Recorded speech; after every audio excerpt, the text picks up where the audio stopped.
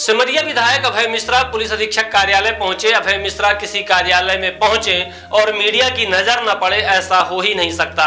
क्योंकि मीडिया को भी मालूम है कि अभय मिश्रा किसी न किसी मुद्दे को लेकर ही वरिष्ठ अधिकारियों से मिलने पहुँचते हैं। यही हुआ बुधवार की सुबह जब पुलिस अधीक्षक कार्यालय सिमरिया विधायक अभय मिश्रा की गाड़ी पहुँची तो मीडिया ने उन्हें घेर लिया। मीडिया ने जब उनसे पूछा तो उन्होंने हँसते हुए अपने अंदाज में जवाब दिया कि सौजन्य मुलाकात करने पहुँचे थे। उनकी किसी से व्यक्तिगत दुश्मनी नहीं है, लड़ाई सिर्फ़ मुद्दों की है।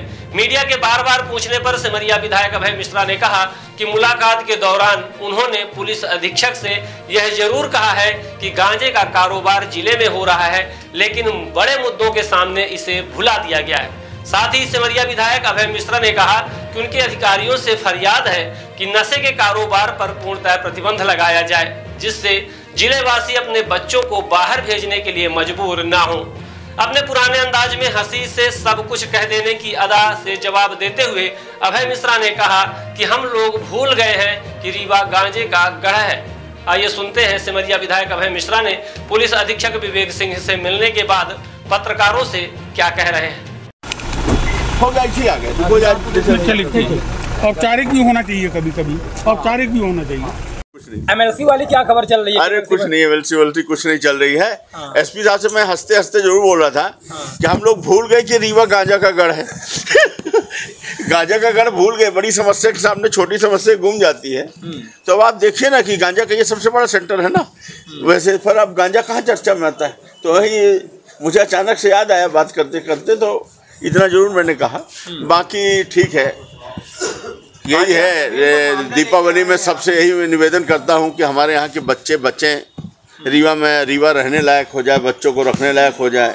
ये अधिकारी लोग ये पुलिस के लोग यहाँ की जनता पे रहम कर दें कि यहाँ के बाल बच्चों को पलने दें उनको यहाँ पढ़ने बढ़ने दें बच्चों को बाहर ना हटाना पड़े यहाँ से नशा का कारोबार किसी तरह कम हो जाए। ये जो सत्रह से उन्नीस साल के बच्चे होते हैं ना ये जो आप इनका यहाँ आज आप यहाँ बधाई देने आए थे या उपहार देने आए क्या?